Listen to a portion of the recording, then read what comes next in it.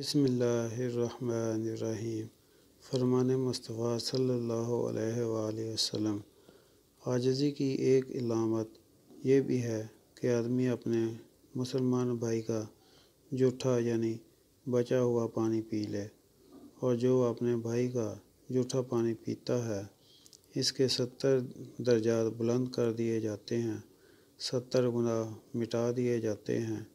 और इसके लिए सत्तर नेकियाँ लिखी जाती हैं।